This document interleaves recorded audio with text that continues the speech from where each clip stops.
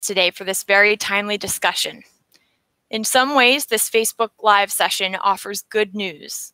A technology based understanding of the viral structure of the novel coronavirus has actually accelerated vaccine design for COVID 19. We are all deeply affected by this pandemic, most of us working from home, as one example. As you can perhaps tell from the background behind me, I'm working from home as well. I'm curious to know where you are watching from and what you came to learn. Please let us know in the comments. This is a discussion that I'm very encouraged by. We have with us today two people on the front lines of progress in developing a vaccine for the novel coronavirus. We will find out a little bit more today about when that vaccine might be available. The genome sequence of the coronavirus was published online in January of this year. My guests today were the ones who reported on how the virus gains entry to host cells using technology to really understand the structures at play. They published this work in a science paper on February 19th, just a month ago, and already the insights from that study are helping to inform vaccines. Earlier this week, as one example, the first phase one trial of an mNRA vaccine for COVID 19 began in Seattle, Washington.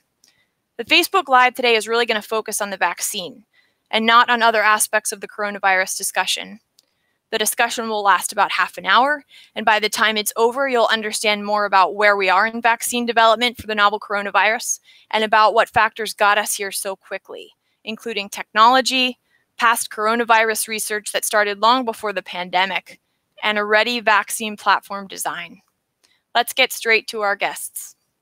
Jason McClellan works at the University of Texas at Austin.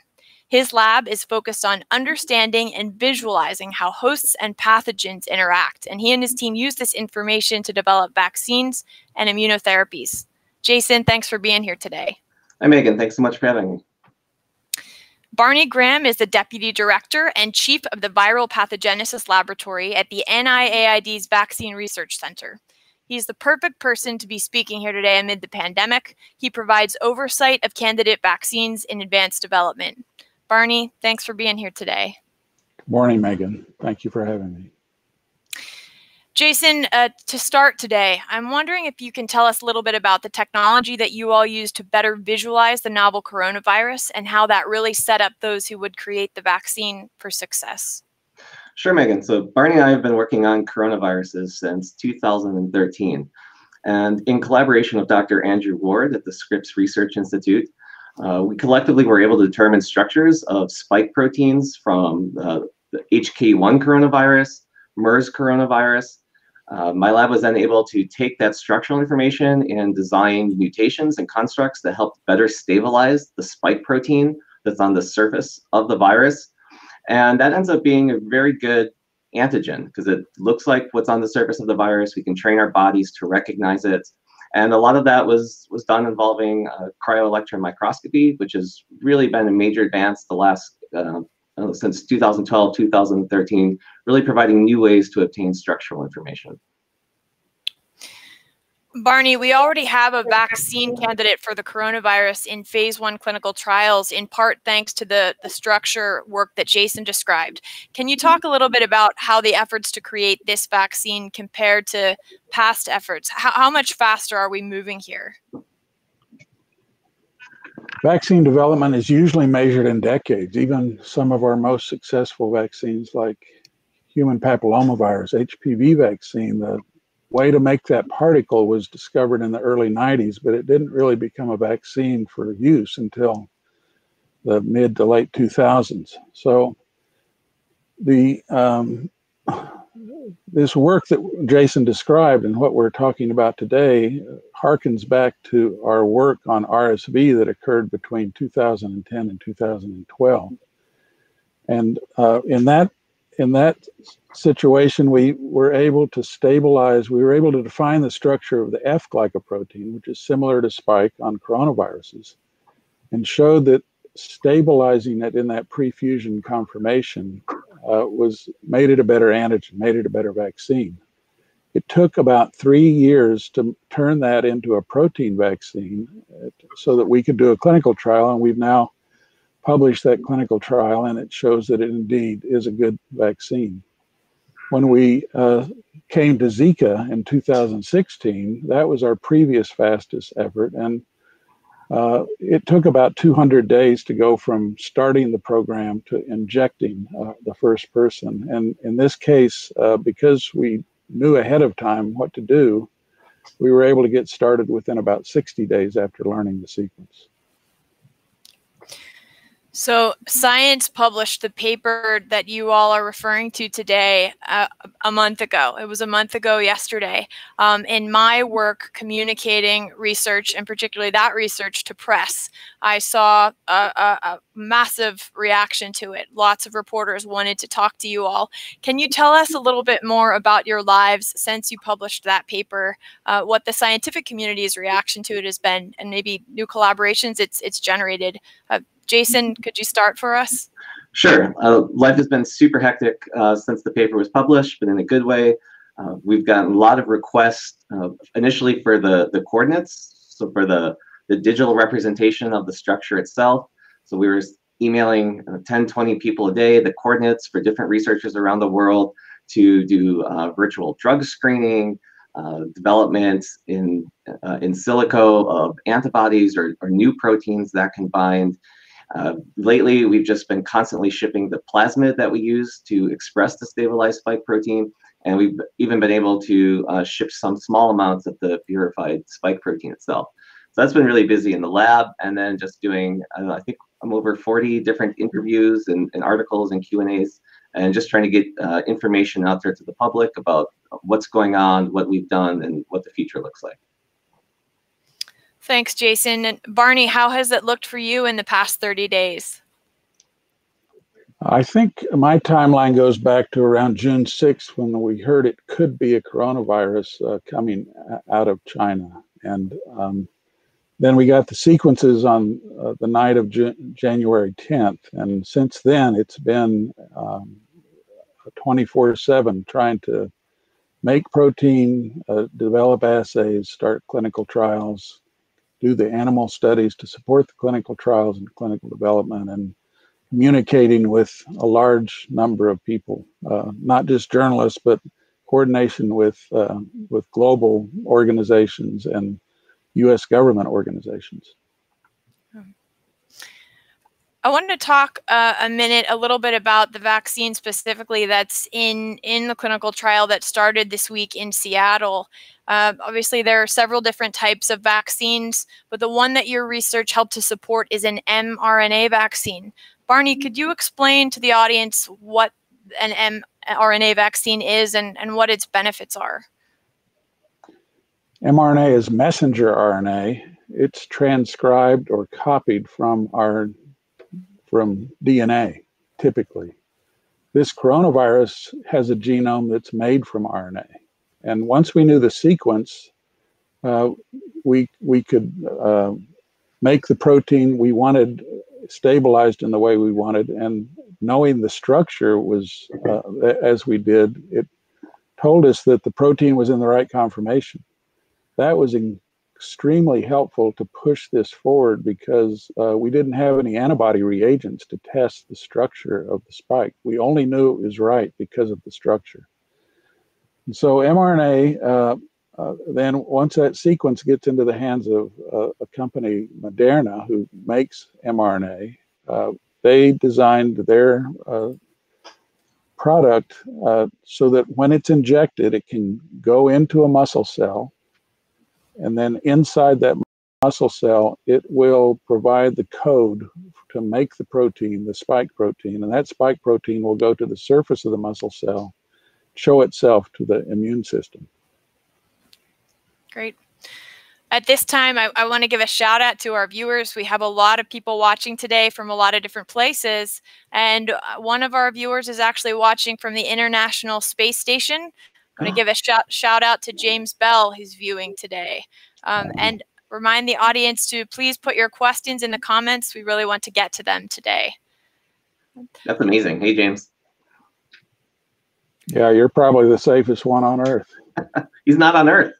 uh, and I want to talk a little bit about uh, other coronaviruses. We know that they're out there. Uh, MERS and, and SARS are some that viewers may be familiar with. Um, why why haven't we tested a MERS vaccine in human trials? It's still circulating in the Middle East. It's still a problem there. Can you talk about that, Barney? Yes, um, that that uh, experience we had with the Zika vaccine in 2016, we made a DNA vaccine for that because we could control it. But after that experience, we started working with Moderna and mRNA. And the purpose, in fact, was to develop a MERS vaccine. And we did make a MERS spike vaccine with mRNA and shown have shown that it's working in mice at least there was never enough uh, impetus behind that to take it into uh, GMP manufacturing so we could actually give it to people. Um, it's very hard to, to uh, invest that type of resources uh, when it's a regional problem. MERS is a problem mostly now in the Middle East. It doesn't spread that easily. And so for regional diseases, it's been hard to convince people how important it is to solve those problems. Are there any corollaries uh, with with SARS where we we don't have a vaccine either eight years after that outbreak? Uh, why do we think we'll be more successful with a vaccine for the novel coronavirus? Well, now we have a structure. And uh, after SARS, we, we really didn't know what we were doing, uh, making vaccine antigens uh, blindly. And after MERS happened, we made a decision based on our RSV experience that Jason and I and Peter Kwong uh, worked on in those early 2010s. And uh, we made a decision if we ever have to face this again, we need to know what we're doing. So we started solving structures and found ways to solve them. Some, you know, had a number of serendipitous uh, steps along the way, but uh, the structures got solved. We know a lot about the spike protein now and a lot about how antibodies neutralize the coronavirus. In, term, in terms of structures and the importance of being able to study them, uh, Jason, how, how um, important is it that young people get involved in, in the work that you're doing? I mean, are there a lot of people already doing this, or would you put out a call to action for more scientists to be focused on you know, real structural investigation to inform therapies? Oh, there's a lot of structural biologists out there. Uh, we can certainly use more. The field's expanding as new technologies grow, such as cryo-electron microscopy. Uh, they allow us to, really make these uh, beautiful structures. So this is the coronavirus spike protein. And so we'll, we have this map, we know where all the residues are, and then we can start to design in specific mutations to improve the stability of the protein, to boost expression levels. Uh, we can truncate regions that we think aren't going to elicit a robust immune response. And so having these maps allows for a real rational engineering approach. And I think the, the field of uh, structural vaccinology is, is really blooming and a lot of new people are entering. It's nice and, to see that structure. Yeah, it's pretty cool. And Jason, that, that model you have, the 3D print, uh, is about 10 million times larger than the actual protein it's amazing to be able to understand that level of detail. Yeah. Yeah. Uh, when you're looking at uh, structures through cryo-EM, what are some of the biggest surprises that you you find, Jason? What what does the technology really let you see that that has surprised you? Uh, one of the things that cryo-EM has allowed us to visualize are some of the dynamics of the of the spike protein. Uh, so perhaps other techniques like X-ray crystallography uh, we might end up trapping the molecule in one conformation within the crystal lattice, whereas with cryo-EM, we're looking at individual single particles and then uh, classifying them into different groups that maybe have different conformations or motions. And, and we saw that with the, with the spike protein. There's actually one of these domains that can move up and down. And we can see that type of motion via cryo-EM. And that ends up being very important to the coronavirus entry. The spike has three receptor binding domains, and it sort of hides them away from the immune system and then occasionally will uh, flick them up in order to bind the receptor. And those dynamics are important. We think that once all three receptor binding domains become bound to a receptor, that triggers the conformational rearrangement that leads to fusion of the viral membrane with the host cell membrane, which then causes the cell to become infected. I now want to go to an audience question from Michelo Brito Gonzalez. And the question is so far, are there any known side effects from this mRNA based vaccine? We know that the trials have just started. Uh, maybe this is an opportunity to talk a little bit about uh, the mouse work that's also been done on this vaccine. There's been several mRNA vaccines taken into clinical trials by uh, multiple different companies, and uh, there's not been a lot of local or systemic side effects from those vaccines. Uh, Moderna uh, has done uh, seven or eight clinical trials with their vaccine products against infectious diseases, and it was on the basis of that safety data that from their prior trials that we were able to start the phase one trial as quickly as we did. And what about when these vaccines are tested in in animals? Uh, do the animals respond to to the novel coronavirus, mice in particular, in the same way that humans do? Uh, because we were able to make the protein so quickly, uh, we've started um, experiments both with protein spike and mRNA expressed spike. So the protein we make in the lab, the protein from the mRNA, the mice make in their muscle cells. And uh, we've already gone through about six weeks of that those experiments, and we know that the mice are making antibody responses even after the first dose, and much higher antibody responses after the second dose there's no evidence of any kind of um, illness or disease or side effects in the mice that we've been able to see so far. Okay. We have a lot of questions coming in from viewers, so I'm going to move to to the next one now. This is from Kathleen Jones. She's a high school science teacher, and she asks, "What resources can I provide to my students to expose them to this information, including the structural information uh, that they can understand?" So, some lay language resources, both on the importance of understanding viral structure and how that can inform vaccine development. Jason, maybe we can start with you. Sure. Uh, a number of companies are creating some pretty cool resources, imagery, videos. On my uh, Twitter account, I posted a really cool molecular animation that Alara Systems made uh, using some of the models of the spike and really beautiful renderings and how it interacts with host cell receptors. So I think we're seeing a lot more uh, development of, of those types of imageries for the general public. The coordinates themselves of the structure are deposited at the protein data bank www.rcsb.org. People can download the coordinates, visualize them using uh, software such as PyMol and others, and really start to spin it around, look at it, uh, much like I was doing with the 3D print. They can look at that on their laptops, uh, even on their phone. Uh, they can they can do some of that. And feel free to shoot me an email. Uh, I can try to put some of that information out there. And I've worked with high school students before who use 3D printers and that information Jason explained to make their own 3D models uh, of the F protein that we did back and published in 2013. So I think there's ways for high school students, either through uh, software or through 3D printing, to, to really start getting into how structural biology and, and uh, viral molecules are put together. Barney, I think it's just me and you. We lost Megan. Okay.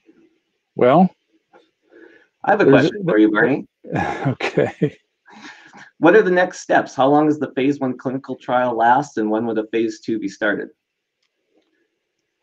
Uh, the phase one has already started. We, we, enrolled four people on Monday and four people on Tuesday of this week, and um, you know we'll be getting samples from them over the coming weeks. And uh, we'll use that information plus the information from uh, animal studies we do both in small animals like mice or larger animals like non-human primates. And then uh, try to advance this if we see no uh, evidence of harm uh, and we do see evidence that it could work we would advance it to what's called a phase two trial, which would be several hundred people instead of 45 people who are in this early trial. And, and at the same time, all these things are being done in parallel. The manufacturing process is being scaled up. the regulatory documents are being uh, uh, developed, the clinical protocols are being developed, and the animal models are all going on in parallel. So that the hope, if everything goes smoothly, we could be in a larger scale trial with thousands of people by uh, before next winter in the northern hemisphere. If, if that can happen, then we would have a chance of learning whether this vaccine works or not, and uh, and just within that one year period. And that would give not only uh, this vaccine confidence, but it would give confidence to other vaccine modalities that are being developed move forward and scale up in a more rapid way so that, um, you know, maybe by uh, a year or a year and a half from now, we would be able to have uh, vaccines more available for the general public. And, and like I said, vaccine development is usually a decades long process. So um, this would be if everything goes uh, completely smoothly over the next uh, year to year and a half. That's great. Welcome back, Megan. Thanks, guys. Thanks for keeping it going. a day in the life of technology. But uh, we have another question, and I think uh, this viewer is wanting to understand the importance of your research as it informs the basic science efforts in the country. Ryan Gray is asking if you could tell us how much a cryo EM scope costs and give us an estimate of how much scope time um, and cost of time it took to get to the structure. Could you talk about that, Jason? Yeah, the electron microscopes are pretty expensive in the millions of dollars, depending on which model. Uh, then you need to have a facility sort of designed around them with the proper infrastructure. They generate terabytes of data uh, per day. So then we need a lot of computational resources, which is something I'm constantly meeting with uh, folks here at UT to how to handle terabytes of data, how to maintain them, what to do with waste, how to archive it, to preserve it. Uh, then we have facility managers. These are highly qualified uh, people with PhDs in order to keep the microscopes aligned and running and help troubleshoot, train new users. So the initial investment is in the five to ten million dollar range, and then we're looking at around maybe four to five hundred thousand dollars per year in maintenance, service contracts, salaries. Uh, so it it really adds up, and uh, it can get quite expensive. So we do need a lot of support there, but the facilities at UT have been fantastic. Another question from a viewer on a different topic. Um, Janet Fox asks, what exactly is it that causes even healthy people to succumb to COVID-19? Is it only immunosuppression? Um, that's a very good question. And we're just learning about uh, this particular virus, but in other respiratory viruses that we understand better, uh, this is basically a race between the virus growth in your lung and the T cell or immune responses responding to that virus growth. And, you know, if the T cells get there a day earlier, you may uh, not have much disease. If the T cells get there a day later, uh, you may have a lot of disease. And so, this is uh, this is one of the reasons and basis for vaccination. We want to educate your immune responses to be there a day or two earlier than they would be ordinarily, and that is what allows you to clear the virus before it causes much damage. Then we have a comment from a student in a lab who's analyzing this, actually a professor who's analyzing your paper together with his students, CJ Wolslager at the University in Delft. He asks, uh, any knowledge if the coronavirus undergoes antigenic shift or drift similar to influenza? Yeah, Barney, you want to take this one? Well, it, it evolves. Uh, it's not going to evolve quite as fast as uh, influenza does. Um, another coronavirus researcher, Mark Dennison at Vanderbilt University, showed that coronaviruses actually have an editing function. It's the first RNA virus uh, found to have editing function within their uh, polymerase that makes or copies the RNA. So it doesn't make as many mistakes as other RNA viruses like the ones we studied before, like RSV or, or even influenza. So it's going to drift and it's going to uh, be different, but uh, and there's going to be new coronaviruses that come that would be slightly different. So we'll have to figure out how to make more generalizable approaches to to coronavirus uh, vaccinology. Barney, it looks like we're getting a lot of questions about mutations and whether, as the virus continues to spread in humans, whether the vaccine would remain efficacious. Any thoughts on that, given the, the rate of mutations we've observed so far in genome sequences? Uh, well, you know, uh, it's we don't know enough uh, to say this for sure yet, but um, we do know that even some of the proteins that we've made based on the original SARS-1 protein, or some SARS-like viruses that are can be found in bats, we know that we can generate immune responses that at least partially cross-react with this new uh, coronavirus. Now, the individual antibodies are not quite as potent as they are to the original SARS in terms of blocking their entry, but I think there's ways that we can design uh, vaccine or viral proteins to, to have a breadth that would, at least within the clade B of beta coronaviruses, protect us against that group of viruses. So the question is can we find approaches that could uh, allow us to have uh, products for clade C, for clade A, for alpha coronaviruses, and I think those kinds of studies can be done uh, using structure guided design. Barney, Jason, we have a comment from a student at the Simons Electron Microscopy Center in New York City. Oh, cool. She, she wanted to know this is Laura Yanni Yen that they're doing a journal club on your paper next week. So, yet another group who will be uh, studying your work. Awesome. I hope, I, hope you like it. I think a lot in the a lot of people in the audience may be interested, as I am. I have young children to know a little bit more about you know the future of this vaccine. Uh, it's only being tested in adults now, but when it would be tested in, in younger people, um, what do you anticipate at that time? Um, the first trials are in people between 18 and 55 years of age who are relatively healthy. But uh, very quickly, as long as things look like the vaccine is working, that it's safe, we'll expand those trials to older people and to younger people. The experiments in younger animals and older animals has already uh, begun, and uh, that the expectation would be that we would would move uh, those studies into younger and older people. And now a question from Abbas Baka. Would this accelerated pace of vaccine development and approval set a precedent for future vaccines of the same type but using different mRNA sequences? Yeah, I, th I think that's true. Barney, I'll just jump in there for a second. I think the idea for some of these uh, nucleic acid based vaccines is to develop a platform and once the platform is developed and, and many of the kinks are worked out in terms of delivery and stability, then it becomes relatively easy to pop in and out the open reading frames and coding for the antigen.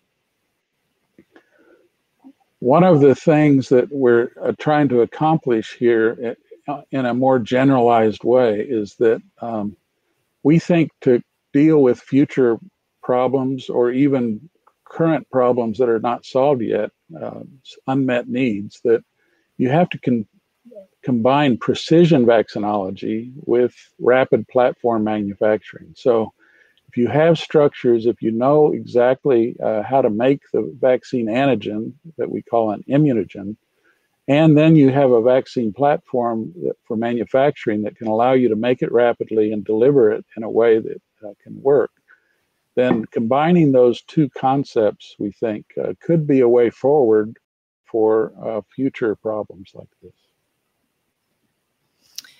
Jason Barney, uh, Jenny Brennan is asking, what has been the role of veterinary research in assisting with the development of this vaccine? Could you talk a little bit about that?